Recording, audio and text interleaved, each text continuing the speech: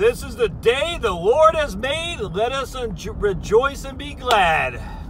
22 years ago to this day, my friends, your old buddy Josh took his last drink of alcohol 525 1997 here it is 525 2019 i was up in new hampshire my good friend jason's house who i was with uh, in the army with I had a couple buddies with me from dc I don't remember if my brother was there or not, but uh, Jason lived in, uh, in Nashua, New Hampshire, and uh, we went to some bar that night, and uh, we just got we got just destroyed. Nothing that night happened. Nothing that night happened. I just I don't. I remember I got so drunk. I you know I was puking everywhere. I you know I don't even remember. Uh, don't even remember what happened that night when I woke up the next morning, and I just.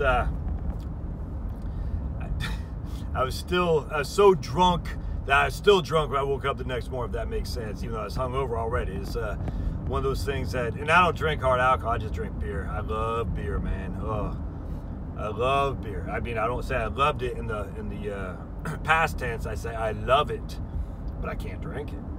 And thankfully, I never gotten the brown stuff. I guess whiskey and gin, whatever the brown stuff is, I guess that makes you so surly especially if you got some Irish in you and a German, which I have both, which is not a good combination, of course. But anyway, woke up that morning, uh, just, you know, two sheets of the wind. Had to drive back to DC that day and just, uh, I said, you know, I just, I've got to stop this. I got to stop it. That wasn't, nothing happened that night. Like, I didn't get in a fight, I, nothing happened. I didn't get a DWI, nothing like that. I said, okay, this is going to turn my life around. It's just, I remember waking up and just saying, dude, you're you know you're 20, but I was I guess I was 26 at that point, about to graduate college. I said it's it's time to to grow up, and uh, for me, growing up meant giving up alcohol. And now look, I wasn't a raging drunk. You know, I I didn't. Uh, like I said in an email I just sent out today about this, I didn't live in a van down by the river. I mean, still had a job, but I was just, it was getting silly to the point where I was just not, uh, not living the life I wanted to live. That's for sure. And uh, and so finally, I just said I'm done, and uh, and I never never partook again. That's not true. There was one time, uh, Charlotte and I were at American Legion. Uh, uh, a celebration of some sort. I forgot it was like a Thanksgiving Day, or maybe I can't remember. Anyway, Veterans Day thing, and was a, a meal they're serving with alcohol, and uh, we're sitting there, and I said I want a ginger ale, and when dude brought back the uh, the drink, it was uh, ginger ale, some kind of alcohol. I remember taking a sip. I was like, "Whoa, ho, ho, get that away from me!" And uh, yeah, I mean, I remember I was like, I, I, my face was like flushed and stuff. And I was like, "Whoa!" When I said "get away from me," and uh, I remember telling my wife, "I'm drunk, I'm drunk." I was just joking, but still, it's like that was the only other time alcohol has ever touched these lips. So when I say uh, it's been 22 years since alcohol hasn't touched these lips, that's a lie. But pretty close. Not deliberately, let's put it that way. So, and over those course those 22 years, uh, it's, it's hasn't really been a challenge to avoid alcohol. I still, I miss drinking and eating crabs. Uh, you know, I lived and went to high school in Maryland, and I just remember, you know, I worked at a, uh, a crab uh, house, uh, local, owned by some Greeks actually, right there on Georgia Ave in uh, Silver Spring, Chesapeake Crab House Chesapeake Bay. I can't remember. Man, Chesapeake Crab. Yeah, Chesapeake Crab House. And uh, man, we'd we'd take the leftovers that, that they had because there's tons of leftovers and had to do something with them. And we'd bring them home and uh, and just we just get free and just drink beers and bring them. Uh, it was just it was just fun. I mean, I like drinking. I'm not gonna lie. I had fun drinking 95% of the time. That's all there is to it. I had fun. I enjoyed it immensely. I was just, uh, you know, when you're a young kind of angry, you know, kid that's, you know, always, don't want to say fearful, but nervous, uh, drinking is a, a, way to avoid all that. There's no other way around it. I mean, in fact, that's what happens with drunks. They get nervous about stuff, so they, they drink to calm their nerves. Uh, unfortunately, they have to start drinking earlier and earlier and earlier to calm their nerves because uh, they're, I mean, they just can't, eventually they can't function without alcohol, which is sad. I was never like that. But gave a couple beers man. I was freaking, you know, like, I was party man. I loved it. I mean, I, I'm not gonna lie. I do miss drinking beers with the fellas, eating crab legs over a uh, a table outside. Just you know, one of those uh, picnic tables outside. just getting drunk and stupid, listening to loud music, man, I, I miss that, that's for sure. In the Army, we'd do the same thing, not necessarily with crab legs, but just, we'd go out, you know, just get in the woods or something like that, and, you know, after we got back from the field, and just get hammered, man. It was, it was fun. And everyone just talking smack, and, you know, sometimes the girls would be there with us. It was, it was just fun, no other way around that. Uh, no other way around that. And I miss that to some degree, but it's not so much of the drink as more of the, uh, you know, just having fun with your friends. Uh, but you know, that's fun when you're younger. As you get older, that becomes less and less fun. Becomes more and more obnoxious. To be honest with you. And what else I miss? I miss a pint of Guinness. I've said that a couple times before. I love Guinness. I could drink. Oh man, I could drink a pint of Guinness with a, with everybody. You know, in the wintertime, eat some beef stew with a pint of Guinness. Oh man, that's that's the life right there. I miss that. Um, that's pretty much it. I mean, I used to love IPA. You can't hop it up too much for me. You know, I love the Sierra Nevada. Sierra had a porter. They had a uh, oatmeal stout, if memory serves. I love the pale ales. Oh man, uh, no, Indian IPAs, not pale ales, IPAs, uh, which was hopped up. Uh, the reason they did that, what they call it IPAs, to keep the beer fresh uh, when they're moving, you know, from uh, Britain to India they had to hop it up big time to keep the beer fresh. At least that's the way I understood it in the brew pub I worked at. So it was hopped up and had that distinct taste and smell and character. It's good, man. I miss that. Ultimately, I just miss hanging out with the fellas, though. Just drinking beer and acting, you know, just being stupid and listening to loud music. I, I enjoy that immensely, shooting pool, something like that.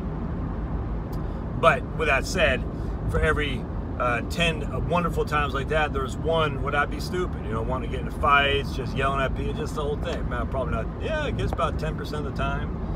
And uh, and I didn't like that. I wake up the next morning just like, dude, what the, you know what I'm saying? And Just, uh, yeah, yeah. And only but for the grace of God did I not get a DWI, did I not kill somebody. I mean, when we were in the Army, we'd get drunk and fights would happen and sometimes people would get hurt. And uh, one time people got hurt pretty badly and thankfully, uh, nothing happened from it where he wasn't hurt too badly, but it, it could have gone the other way, and uh, that was just that was bad. And I remember, I mean, I remember being scared. Let's just put that way. And uh, none of that would have happened if I was sober. It's just all there is to it. You look back, you say everything I've screwed up on. There's always one constant variable: alcohol. So remove that variable.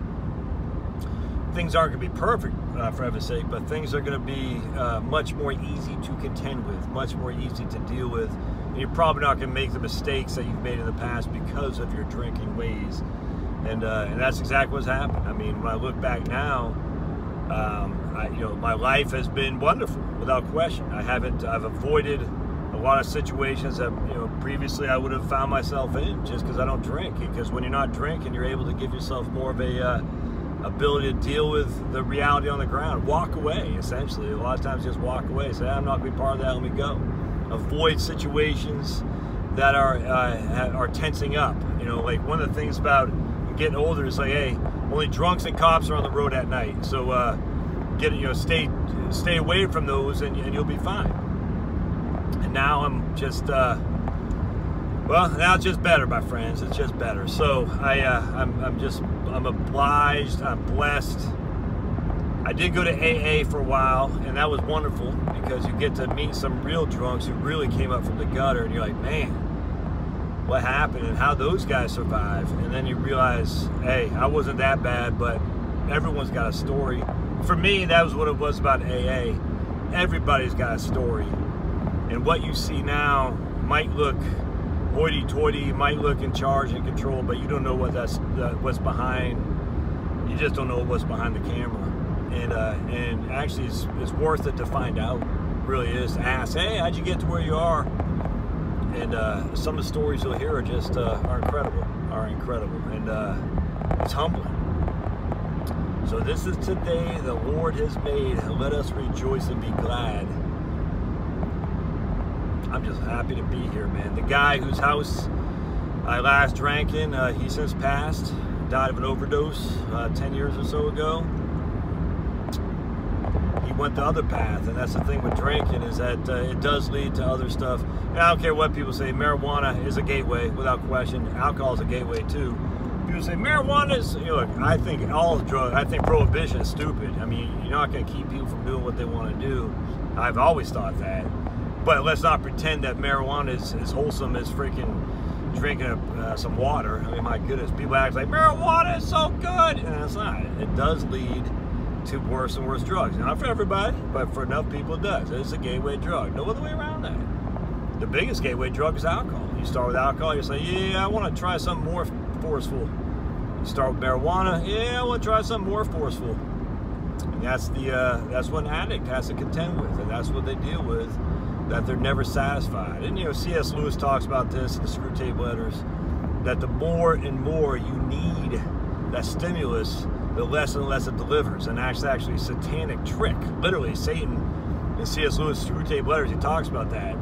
They get more and more addicted. I don't have to give. I, I give less and less, and I keep them coming for more and more. It's actually it's incredibly uh, informative and profound. Yeah, the more addicted you get, the more you need, and the more Satan delivers, and the more you need, which means the more you go to his realm. It's nuts. It's nuts, man. Stay strong, my brothers and sisters out there.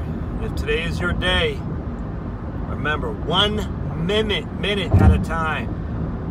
Will I be sober 10 years from now? Man, I've got no idea, but I will be sober right now I will be sober right now. That's what I can control. I can control my inputs. That's it. I can't control the outputs. My input is right now, I will not drink alcohol. So today's your day. Start with right now. I would suggest to you, you wake up in the morning and start. Don't have that first cigarette in the morning. I'm telling you right now, when I quit smoking, the, the hardest thing was trying to quit smoking after I've already had some cigarettes. Just wake up in the morning with a fresh set of lungs and say, yeah, I'm not doing this today. It's easier. Not easy, but it's easier than trying to start midway through the day. Start a fresh slate, a fresh day, and say, today's the day. But how about five days from now? I don't know. I just today. How about two hours from now? I don't know. Just a minute, just right now. That's all you can do. Control right now. Control the next right now. Control the next right now. So all you can do is control the right now. God bless.